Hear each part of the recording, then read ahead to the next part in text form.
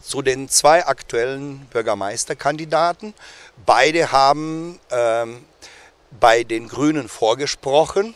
Was haben Herr Starnke und Herr Hahn jeweils bei Ihnen für einen Eindruck hinterlassen? Bei mir persönlich haben beide den Eindruck hinterlassen, dass sie wirklich Bürgermeister werden wollen.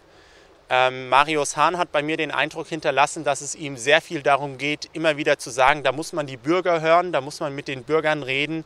Allerdings darf dieses Thema der, des Bürgers, ihn zu hören, nicht dazu führen, dass Marius Hahn sich vor eigenen Standpunkten wegduckt und so immer ausweichend auf Fragen antwortet. Michael Stark hat aus meiner Sicht durch eine hohe Fachkompetenz geglänzt. Ähm, wir haben uns sehr intensiv ähm, über Projekte unterhalten, die Limburg die nächsten Jahre gehen kann.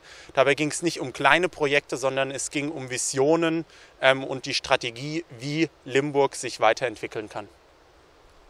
Also bisher bei Ihnen und Ihrer Fraktion keinerlei Präferenz? für einen der zwei Kandidaten? Es gibt persönliche Präferenzen von mehreren Personen, aber die Partei von Bündnis 90 Die Grünen hier in Limburg hat sich noch nicht entschieden, wen sie bei der Bürgermeisterwahl unterstützen möchte.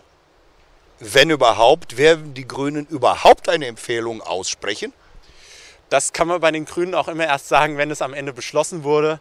Aber aus meiner Sicht sollten wir Grüne eine Empfehlung aussprechen. Das sind wir auch unseren Wählerinnen und Wählern schuldig, weil wir erleben beide Bürgermeisterkandidaten wöchentlich in ihren Aktivitäten im Rathaus und können somit durchaus sagen, wie wir zu diesen stehen, wie diese zu grünen Projekten stehen, ohne dass es im Wahlkampfgetöse untergeht, weil im Wahlkampf verspricht nun mal ein jeder gerne viel, um den Wählern zu gefallen.